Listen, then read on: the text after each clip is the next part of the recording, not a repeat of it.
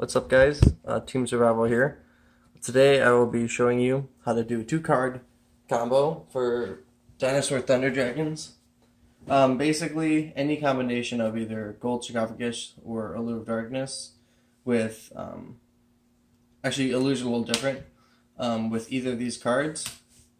So either Armageddon Knight and Gold Sark or Oviraptor and Gold Sark are going to equal um, a Wee Witch, a Overtex, and a Colossus.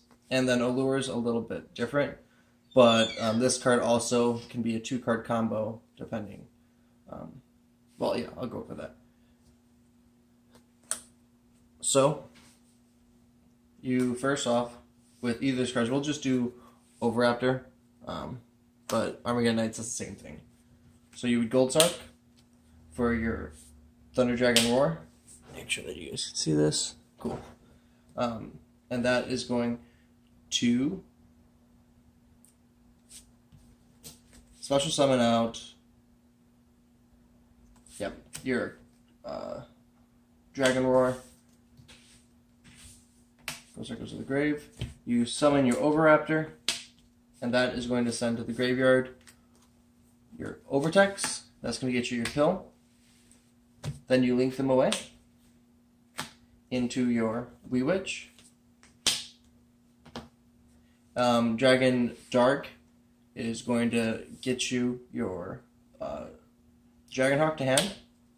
Then you go ahead and you double pill your uh, Raptor or your Qoatlus. Let's do Qoatlus in case um, they draw into a Call by the Grave and you don't want your Qoatlus to get countered. To special summon the Qoatlus and um, put it over here. Just be uh, be careful. Never know what you're playing against.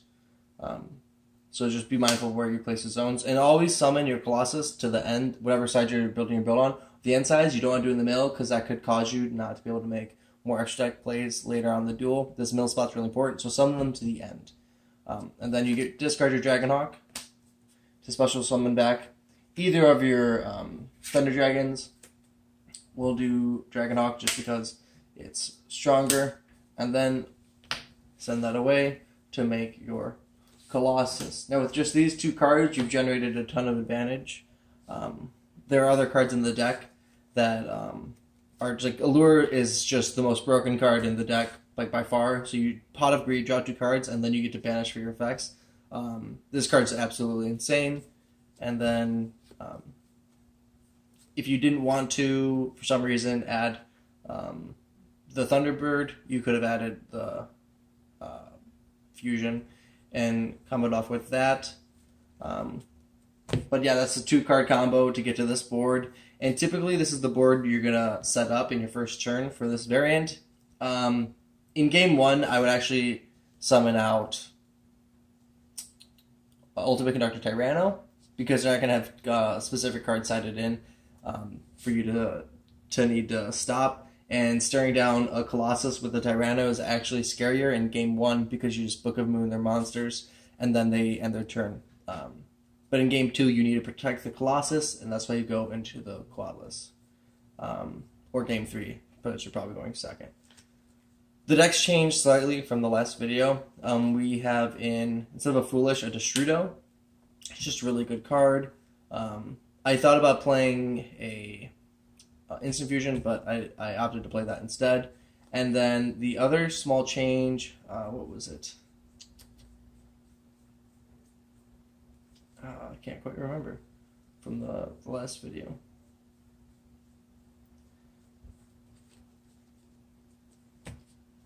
Uh, the extra deck's changed a bit. Uh, maybe in the main deck it's just Destrudo.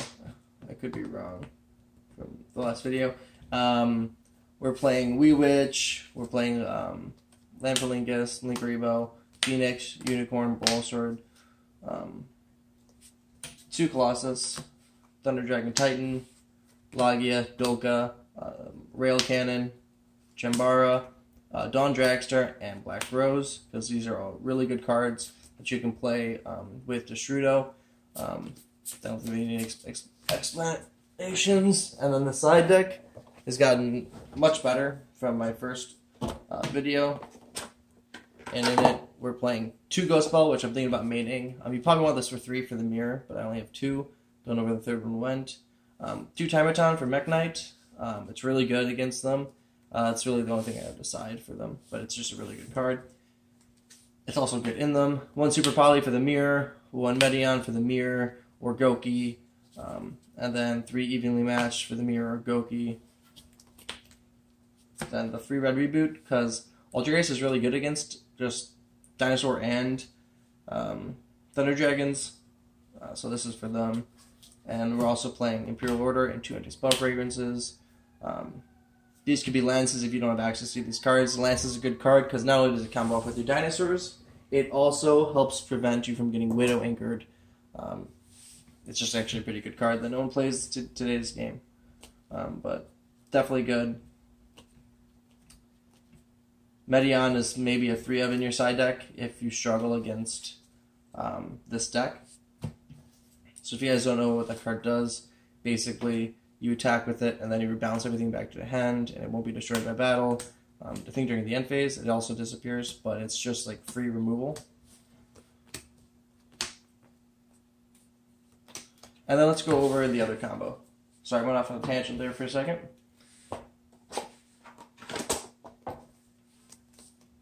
Uh, to. All these guys. If you started with Allure,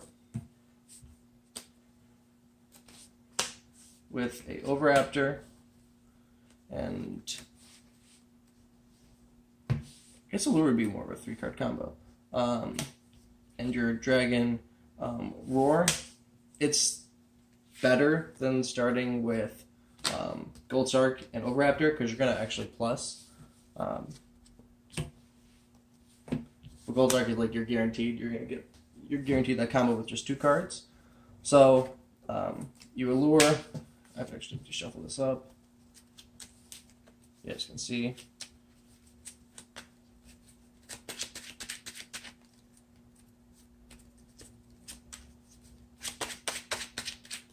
All right. Cut.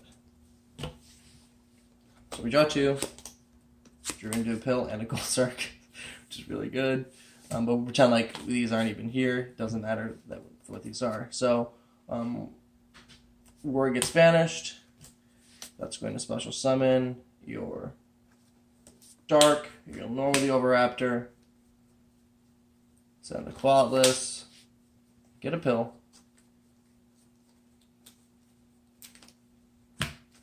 And then you link them away for Wee Witch. Or if you're not going to go um, Overtex, I would go into Lanphalinkus, so you just don't reduce the attack of.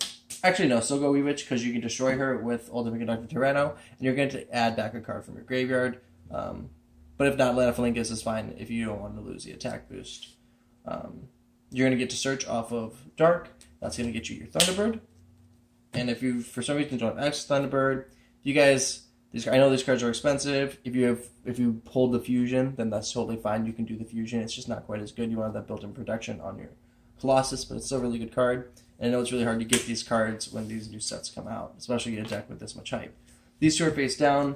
Um, it doesn't matter what we drew, even though they're like really good. We can combo much further with these. So we discard the Dragon Hawk, and that'll summon back our uh, Dragon Roar. Use our Double Evolution Pill and banish our over text and our roar. That's going to get us the Overtex. Place it here. Careful of your columns. And then you link away your roar. I'm sorry, you just kind of tribute away your roar to make your Thunder Dragon Colossus and place it over here. Um, so this is really like the board you end up on. I mean, you could set up for Qoatlus, have Big Daddy, Ultimate Conductor Tyranno, who's just really good. In fact, I think this is one of the most oppressive boards you can put out in the game of Yu-Gi-Oh! without like Yu linking, extra linking, uh, stuff like that. Um, destroy this, and then you're going to get to add back to hand um, your Dragon Hawk. I'm actually sorry. You're gonna have to add back the Dragon Roar. You can't summon Dragon Hawk. Add it back. It's light, um, but you get back your Roar. These are from two three card combos.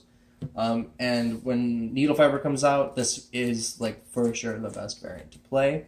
So not only is it a, more of a budget version for you to play Thunder Dragons right now, but it's an investment for the future because um, Aolo and just like the boards that this deck will be able to put out um, with it is insane. I mean, the utility that the Dinosaur variant has is a lot better than the, the utility of the pure version, but the pure version is pretty consistent.